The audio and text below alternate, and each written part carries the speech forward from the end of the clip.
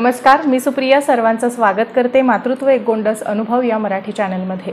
Healthcare तीन टप्प्यात pre pregnancy pregnancy आणि बेबी केअर आजचा आपला टॉपिक आहे गरोदरपणात पोटात दुखणं कधी नॉर्मल आहे कधी डॉक्टरकडे जायला हवं काय काळजी घ्यायला हवी पहिले तीन महिन्यांमध्ये थोडंसं काळजी जास्त घ्यायला हवी पोटात दुखलं की काय सायन्स आहेत की डॉक्टरकडे कधी जावं? लास्ट ट्रायमेस्टरमध्ये सुद्धा कधी लेबर पेन स्टार्ट होईल? नॉर्मल दुखणं कधी असतं? आणि सेकंड ट्रायमेस्टर म्हणजे आपण trimester wise first second third trimester wise बघूया पोटात दुखण्याचे प्रकार कोणकोणत्या प्रकारचं पोटात दुखू शकतं? नॉर्मल काय डॉक्टरकडे कधी जायचं ते? तर व्हिडिओ शेवटपर्यंत पाहत राहा. व्हिडिओ आवडला तर व्हिडिओला लाईक करा कमेंट करा शेअर करा.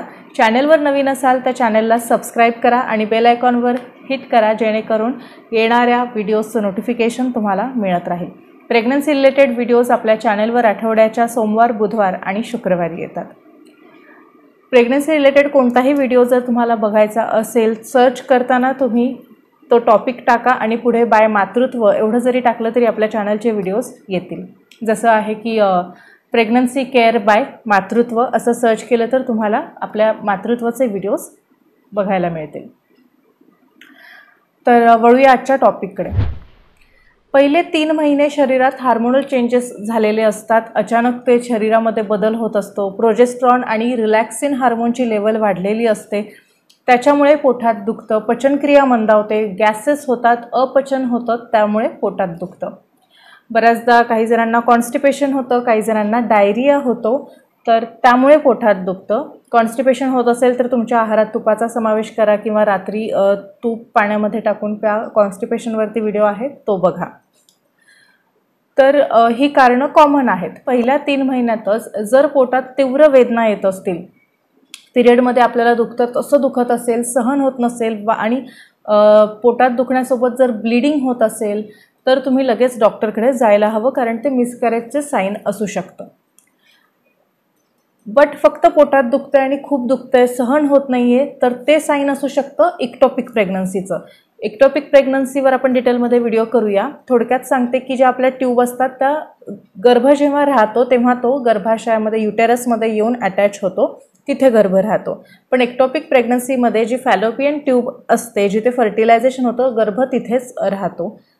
अशा वेळेला त्या ट्यूब फुटण्याची वेळीच लक्ष नाही दिल्यावर शक्यता असते. त्यामुळे पोटात जर पहिले तीन महिने दुखलं तोपर्यंत तुमचं अल्ट्रासाऊंड पहिले तीन महिने पण नाही. सुरुवातीच्या काळात जेव्हा पोटात दुखलं आणि प्रेग्नन्सी टेस्ट घरी पॉझिटिव्ह आली आहे पण अल्ट्रासाऊंडमध्ये अजून कन्फर्म झालं नाही आहे अशा वेळेला तुम्ही लवकर डॉक्टरकडे जाणं गरजेचं आहे. कारण गर्भ कुठे राहिला आहे ते कन्फर्म करणंसुद्धा तेवढंच महत्त्वाचं असतं. हार्मोनल चेंजेसमुळे सुद्धा पोटात जे दुखतं तर अशा वेळेला तुम्ही तुमच्या आहारामध्ये विटॅमिन एचा समावेश करायला हवा विटॅमिन सीचा समावेश करायला हवा. पोठात पोटात दुखतं कमरेत दुखतं कधी कधी ता पायही दुखतात त्यावेळेला मसाज तुम्हाला कामी येईल. पहिले तीन महिने जे काही लक्षणं दिसतात त्याच्यामध्ये असतं नोशिया वॉमिटिंग म्हणजे उलटी येणं मळमळ होणं पोटात कालवणं त्यामुळे पोटात दुखू शकतं उलटी करून करून पोटात दुखू शकतं. बऱ्याचदा कारणं लक्षात येत नाहीत पण एवढी छोटी कारणं असतात आणि ही सामान्य आहेत. तर जे मी सांगितलं की कधी डॉक्टरकडे जायचं ती का त्या कारणांकडे व्यवस्थित लक्ष द्या. त्यानंतर दुसरं महत्त्वाचं कारण जे पहिले तीन महिने पेन होतं ते आहे राऊंड लिगामेंट पेन. म्हणजे जसं जसं गर्भाशयाचा आकार वाढेल तसं तसं तिथल्या मसल्स आहेत त्या ताणल्या जातात. त्याच्यामुळे जे राऊंड लिगा पेन होतं उजव्या बाजूला राईट साईडला मध्यभागी तर ते खेचल्यासारखं दुखतं ते असतं राऊंड लिगामेंट पेन ते नॉर्मल असतं. प्रेग्नन्सी थ्रूआउट प्रेग्नन्सीमध्ये कुठलंही पेन जे सहन होतं आहे ते नॉर्मल आहे आणि जे सहन होत नाही आहे त्यावेळेला तुम्ही लगेच डॉक्टरकडे कन्सल्ट करणं डॉक्टरकडे व्हिजिट करणं महत्त्वाचं आहे. त्यानंतर आधी आपल्याला व्यायामाची गरज नसते आणि प्रेग्नन्सी राहिली आहे म्हणून आपण नॉर्मल डिलिव्हरी व्हावी म्हणून जे व्यायामाला अचानक सुरुवात करतो काही जण व्हिडिओ बघून व्यायाम करतात एकाच दिवशी जास्त व्यायाम करतात सो त्या व्यायामामुळे सुद्धा पोटात दुखू शकतं. तर अशा वेळेला आराम करावा. कधीकधी चुकीच्या हालचाली चुकीचे पोस्चर बसण्याची चुकीची पद्धत वाकण्याची चुकीची पद्धत त्यामुळे सुद्धा पोटात दुखू शकतं. पण हे लाइट पेन असतं. आता बघूया सेकंड ट्रायमेस्टरमध्ये जे पोटात दुखतं त्याच्यातलं सगळ्यात पहिलं कारण आहे ते म्हणजे जर प्लॅसेंटा प्रिव्हिया असेल भाषाचं मुख असतं त्याच्याजवळ जर प्लॅसेंटा अटॅच असेल तर त्यावेळेला सुद्धा त्रास होऊ शकतो. कधी कधी प्लॅसेंटा ॲब्रप्शन म्हणजे प्लॅसेंटाचं जे कनेक्शन असतं ते तुटतं त्याच्यामुळे ब्लिडिंग होऊन पोटात दुखतं अशा वेळेला तुम्ही डॉक्टरकडे जायला हवं. आणि प्लॅसेंटा प्रिव्हिया असेल तर अशा वेळेला तुम्ही डॉक्टरसोबत कन्सल्ट वेळोवेळी करणंसुद्धा खूप गरजेचं आहे. त्यानंतर सेकंड ट्रायमिस्टरमध्ये एक पेन स्टार्ट होतं जे नॉर्मल आहे ते म्हणजे ब्रॅक्स्टन हिक्स कॉन्ट्रॅक्शन ज्याला नकली लेबर पेन म्हणतात. नॉर्मल डिलिव्हरीच्या वेळेस जे लेबर पेन येतं त्याप्रमाणेच हे असतं पण ह्याची तीव्रता त्यापेक्षा खूप कमी असते असं म्हणू शकता की त्याची प्रॅक्टिस चालू होते. तर ब्रॅक्स्टन हिक्स कॉन्ट्रॅक्शनमध्ये सुद्धा कॉन्ट्रॅक्ट होतात मसल्स रिलीज होतात. म्हणजे थोड्या वेळासाठी दुखतं थांबतं त्यानंतर परत दुखतं थांबतं अशा प्रकारे. बट हे गॅप खूप मोठा असतो आणि हे नकली लेबर पेन असतं. ब्रॅक्स्टन एक्स कॉन्ट्रॅक्शनचं जे पोटात दुखणं आहे ते तुम्हाला जेव्हा जाणवेल सहाव्या सातव्या महिन्यापासून अचानक पोटात चमकतं थांबतं अशा वेळेला तुम्ही वॉक करा किंवा डाव्या कुशीवर झोपा. जे जे करून तुम्हाला आराम मिळतो शक्यतो वॉक केल्यावर तुम्हाला चांगल्या प्रकारे आराम मिळेल. दुसरं कारण आहे सेकंड ट्रायमिस्टरमध्ये पेन होण्याचं ते म्हणजे बाळाच्या मुवमेंट्स आधी लाइट मुवमेंट जाणवत असतात पण त्याच्यानंतर जेव्हा बाळाच्या किक स्टार्ट होतात त्यावेळेला सुद्धा पोटात चमकू शकतं. तर ते एक कारण असतं पोटात दुखण्याचं. त्यानंतर तुम्हाला प्रेग्नन्सी आधीच जर काही पित्ताचा खडा असेल किडनी स्टोन असेल तर त्याच्यामुळे त्याच्यामुळे सुद्धा प्रेग्नन्सीमध्ये पोटात दुखू शकतं.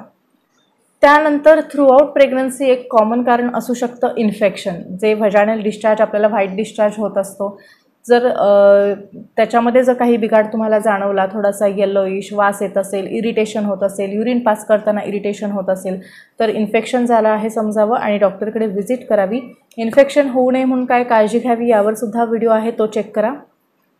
इन्फेक्शनकडे वेळीच लक्ष नाही दिलं तर त्याचा संसर्ग आतमध्ये जाऊन बाळापर्यंत सुद्धा पोहोचू शकतो. आणि जे बऱ्याच जणांना प्रश्न पडतो की प्रेग्नन्सीमध्ये व्हाईट डिस्चार्ज होतो तो नॉर्मल आहे का? तर तो नॉर्मल आहे. जे प्रोजेस्ट्रॉन लेवलची वाढते प्रोजेस्ट्रॉन हार्मोनमुळे हा व्हाईट डिस्चार्ज होत असतो.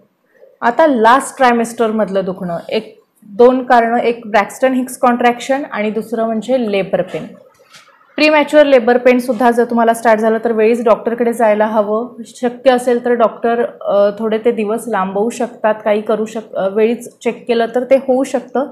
आणि जर लेबर पेन स्टार्ट झालं तर ते कसं ओळखायचं? तर ते लेबर पेनची म्हणजे नॉर्मल डिलिव्हरी होणार असेल तर त्याची काय लक्षणं आहेत वगैरे यावर डिटेलमध्ये व्हिडिओ येईल. थोडक्यात सांगते कमरेपासून पुढे पोटाकडे चमकतं. आधी समजा चमकलं आहे त्याच्यानंतर दहा मिनिटांनी पुन्हा चमकलं. त्याच्यानंतर हा जो गॅप आहे हा कमी होत जातो. आणि आधी समजा पाच सेकंदासाठी चमक पोटात दुखतंय त्याच्यानंतर दहा सेकंदासाठी दुखेल त्याच्यानंतर अर्ध्या मिनिटासाठी दुखेल अशी तीव्रता वाढत जाते.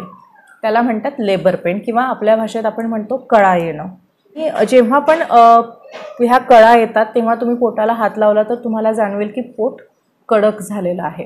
तर त्याच्यावरून ओळखायचं की ते लेबर पेन स्टार्ट झालेलं आहे. तर ही बरीच कारणं ट्रायमेस्टर वाईज मी सांगितली आहे काय नॉर्मल आहे कधी डॉक्टरकडे जायला हवं सर्व काही डिटेलमध्ये आज मी सांगितलं आहे. व्हिडिओ आवडला असेल तर व्हिडिओला लाईक करा कमेंट करा शेअर करा. भेटूया पुढच्या व्हिडिओमध्ये तोपर्यंत खुश रहा हसत रहा पॉझिटिव्ह रहा. बाय